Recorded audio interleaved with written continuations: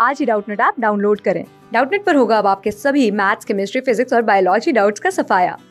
बस अपने क्वेश्चन की फ़ोटो खींचो, उसे क्रॉप करो और तुरंत वीडियो सोल्यूशन पाओ। Download now.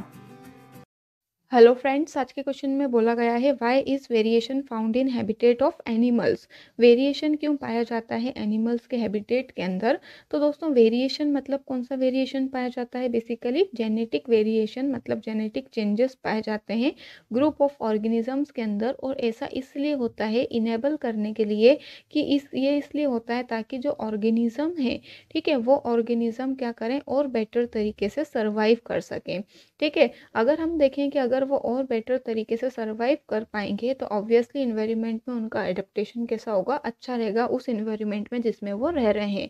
अगर हम बात करें कि वो ऑर्गेनिज्म जिनकी पॉपुलेशन स्मॉल है, ठीक है स्मॉल पॉपुलेशन वाले जो ऑर्गेनिजम्स होते हैं, वो डिफ़र हो सकते हैं इन टर्म्स ऑफ़ हैबिटेट हम बोलें, या फिर हम कह सकते हैं उनका जो इन्वायरमेंट होता है वो डिफ़र हो सकता है बिकॉज़ वो किस तरीके से सूटेड हैं for life in certain environment ठीक है?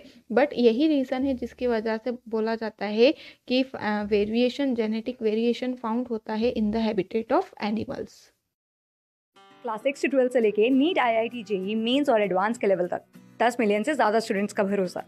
आज ही डाउनलोड करें डाउट नेट आप या व्हाट्सअप कीजिए अपने डाउट्स आठ चार सौ चार सौ चार सौ पर.